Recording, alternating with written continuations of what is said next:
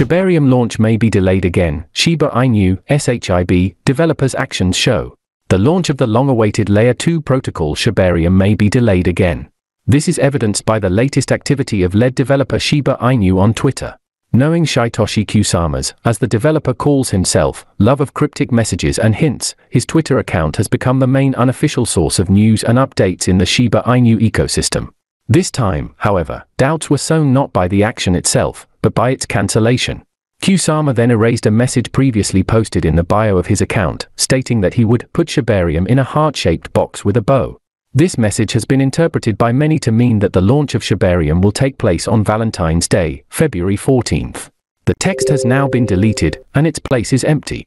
Whether this is another delay in the arrival of Shibarium or whether Shytoshi has cleared the way for the next stage of audience warming is an open question. Preparations for Shibarium.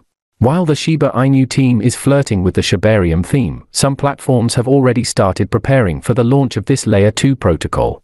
Atomic Wallet has taken the most thorough approach so far.